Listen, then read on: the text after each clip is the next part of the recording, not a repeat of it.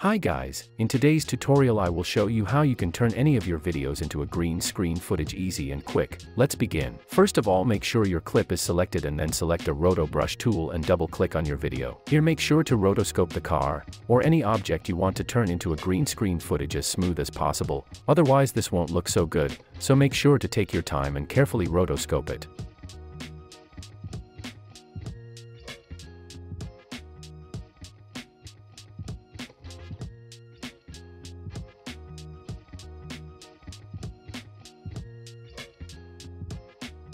Once you are done selecting, make sure to press space on your keyboard and check if the selection follows the car perfectly.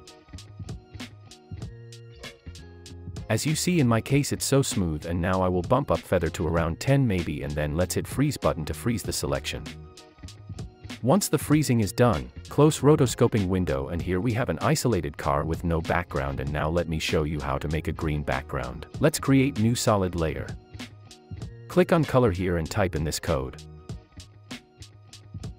Let's hit OK now and then make sure to move green solid below your clip and here we go. We have a smoothest green screen footage of our own video. You can now render that video and later use it as a green screen VFX maybe, or something else. Let me show you how to remove green screens in case you don't know it. On a green screen footage, apply Keylight effect. Now grab an eyedropper tool here and select the background and we are done. Hope this video was helpful. Thanks for watching and like the video please.